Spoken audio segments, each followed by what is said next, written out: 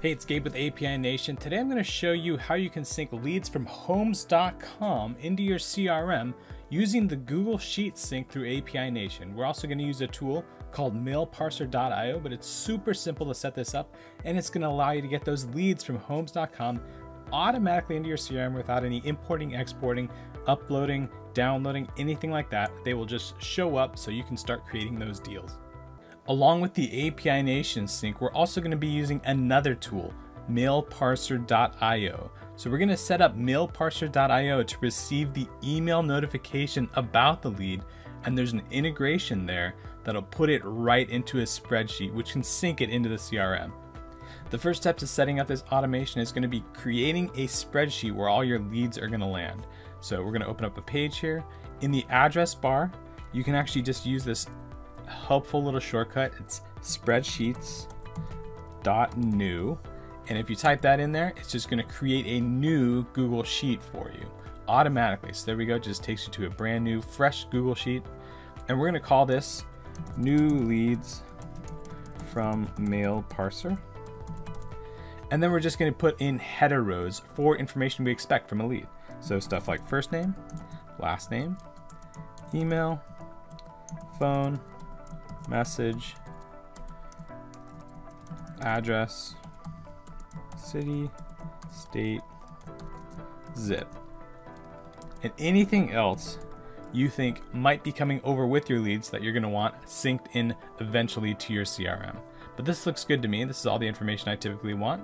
So now that we have this spreadsheet, we're going to go over to mailparser.io to set up that part. Next, we're going to go to mailparser.io, and this is a separate tool from API Nation, but I find it's really useful. What it does is those emails you get, those lead notification emails with all the information about a lead that you get, you have them sent or you automatically forward them to an email address that MailParser is going to give you. And MailParser is going to be able to pull out the relevant information, the name, the message, the address, the phone, the email, all that stuff, and you can have it put into a spreadsheet. So that's what we're gonna do here. And if you go to the pricing page on MailParser, you'll see there is a free account. So that's what we would use to get started. If you're getting more than 30 leads a month or you wanna do this with other apps, then consider going up to the professional version. But just to get started, we're gonna go with the free version. And once you set it up, it's gonna look like this. Create your first inbox. So you're gonna hit this button, go ahead and name the inbox, and you can name it something as normal as leads. You can name it after the service where the leads are coming from, whatever's going to be most helpful for you. Hit save, and there we go. It's created your email address for your inbox. And this email address, you need to do one of two things. One, you can either go to the lead service, the lead generation service, and give it this email address as a second place to send those lead notification emails. You can do that, or you can set up a rule in your inbox, your Gmail, your Outlook, whatever you're using, so that any emails you get from your lead service automatically get forwarded to this email address. Either way, those lead notification emails you're getting need to somehow get sent to this email address. That's very important. So once you go and do that, the next thing it's asking you to do is send over some examples of what kind of emails you're expecting from your lead generation service. So I'm going to do that right now. I'm just going to copy this to clipboard. I'm going to go over to my email inbox and forward over a couple emails. And you're going to see it's waiting for those examples to arrive. And as soon as those examples arrive, it's going to say, good news, we got your emails. So now you're going to hit select and continue to set up the parsing rules. All right, and once that email has come in here, MailParser is gonna take it and it's gonna try and parse it and create a template for how to parse it. So you can see here, it's actually taken it, looked at that email, that lead from homes.com, and it's already seen, all right, we got some first name, some last name, and it actually did a pretty good job parsing it. So you're gonna wanna make sure, depending on what the lead looks like from homes.com when you're looking at the data that's getting extracted, that this is the kind of stuff you want. First name, last name, email, phone, message, all this stuff. But this looks good, so I'm gonna go ahead and start with this template. It asks for a category. I don't need one necessarily. If I put in the real estate category, it might try and match it to something, and there's no homes.com template currently in Mail Parser. So I'm just gonna go ahead and continue with the default.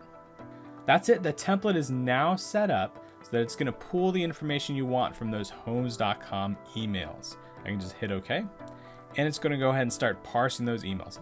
Again, make sure you're forwarding the emails from homes.com to that mail parser inbox email address, or you've set up a rule in your email inbox to forward it to that mail parser inbox. So while it's parsing these emails, now we're going to set up this inbox so that it sends all the information it parses into a Google Sheet. So to do that, I'm going to hit integrations and then we're going to click new integrations. And Mail Parser gives you a lot of good options here as far as integrating, including a webhook, a generic webhook, which we have a separate video if you want to connect Mail Parser to uh, your app using a generic webhook.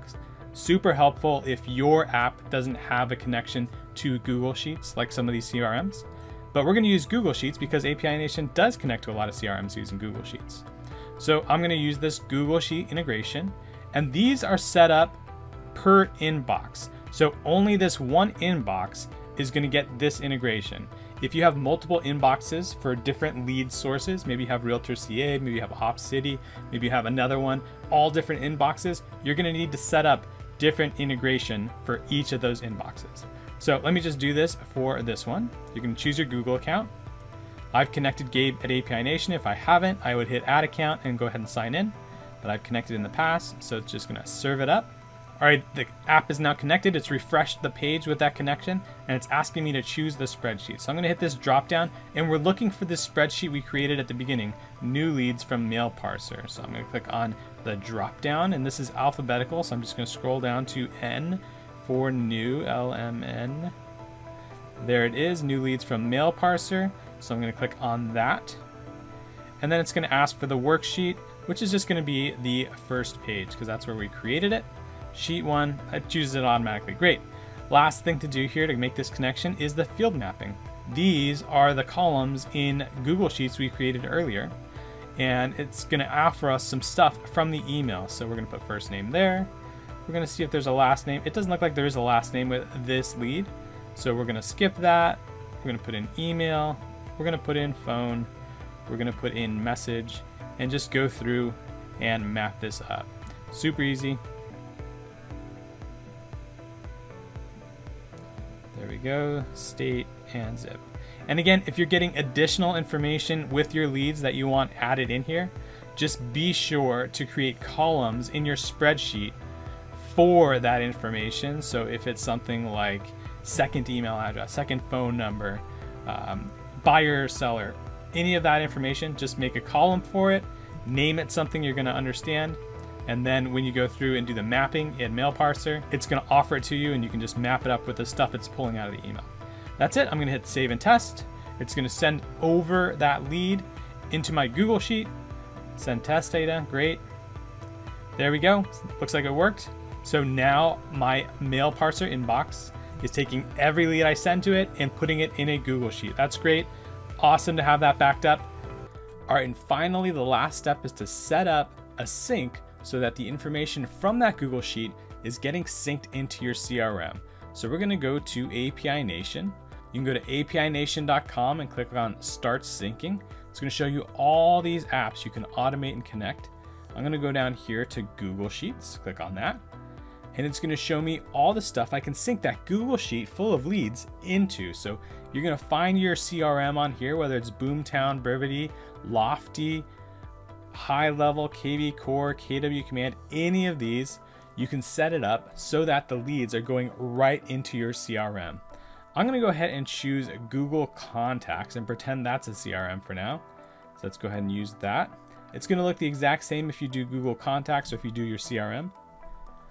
So I'm going to say I want to sync information from that Google Sheet into my CRM, in this case, Google Contacts. So I'm going to activate that sync, the one going from Google Sheets into Google Contacts. The first step is to sign into your API Nation account here if you don't have one. You can click here and create one, or you can sign in with Google. We'll go ahead and do that. Next, you're going to connect your Google Sheets account. All you have to do there is hit the big connect button. It's going to show you your Google account, and make sure you select the one the Google Sheet from Mail Parser is getting synced to. Next, you're going to connect your CRM. I have Google Contacts, so I'm just going to hit connect. It's, it's going to be really similar for all the CRMs. You're probably going to hit connect sign into your CRM and that makes the connection.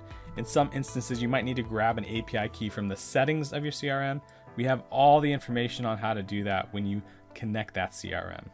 All right, now we're just gonna set up this sync from that Google Sheet where MailParser is putting our lead information from homes.com into our CRM. So I need that spreadsheet URL. So remember that spreadsheet we created at the beginning. I'm gonna go back there, grab the URL, and go back to API Nation and paste it in there. And now anything that gets added to that spreadsheet is gonna get added to my CRM. Here, there's usually some options about how exactly you want to put it into your CRM, whether you want to put it as a lead or a contact, whether you want to mark it as new, all that kind of stuff. It depends on what CRM you're using, what options you'll have. For example, in Google Contacts, I can label it different labels. I'm going to just leave it default. And then the final thing you're going to consider is if the contact already exists in your CRM, should you overwrite the information or should you just fill in the blanks? It's pretty unlikely if you're getting leads from homes.com that you're getting leads of people you already have, but it's up to you. You can go ahead and click this and say, don't override it, just fill in any blank fields. Or you can unclick it and say, you know what, if they're coming from home.com, maybe they're the freshest information about my client, so go ahead and override it. Once you hit that button at the bottom, it's going to actually create the sync. So this is the actual sync you're looking at. This is the big button to activate it. I can just hit this and it'll start syncing. I want to show you a couple more things though. This is the settings. We're in the settings currently. If you want to come back, you can look at the logs and see what the sync is doing. You can just click on that and see the logs. You can see nothing's happened yet. Here's all the information we set up at the beginning. So if you want to change any of that stuff, you can. Maybe you maybe you decide you do want to start overriding information. Maybe you decide you actually want to not override information. You can come back in here and check this box. Final things, you can see there's a filter here. If you want to filter any of the stuff coming from that sync, you can. So you can see here's the fields that are coming over from that spreadsheet. You can just choose a field and say, you know what, I only want people who are coming from a certain zip code. You can do that if you want. Zip contains 92130, something like that. And then finally, we're gonna map everything up here. So you can see it hasn't mapped much up. I'm gonna go ahead and start mapping it up here. I definitely need a phone and an email, so I'm gonna hit the plus sign. Search for phone, there it is. Hit another plus sign, find email, grab that first name, grab that last name, and then I think there's a message, so I'm gonna go ahead and put that in notes. And actually it looks like it pulled over the information for the address, which is nice. So let's put the street address in here, there we go. And in notes, I'm gonna put that message. So there we go. We have all the information. We're going to sync over from that spreadsheet, and this stuff is going to always come over when I want it, how I want it. So this looks good. I'm going to go ahead and activate that sync. And that's it. The sync is now running, and it's going to keep running. You don't have to come back here and hit a button, push a refresh button, push a fetch button, anything like that. It's just going to automatically fire, keeping an eye on that spreadsheet that is getting populated by MailParser, which is taking those homes.com emails and filling them onto that spreadsheet. It's a lot going on behind the scenes, but it's all automated. So from your point of view, a lead comes in from homes.com, you open your CRM, there it is. You can go to work, start creating those deals. So that's it. That's how you get those homes.com leads right into your CRM automatically. You don't have to upload, download, do any of that stuff. They just sync using the Google Sheets sync through API Nation and that mailparser.io tool. If you have any questions or need any assistance setting up this sync, give us a phone call, shoot us an email. We're API Nation, and we're connecting the world's applications.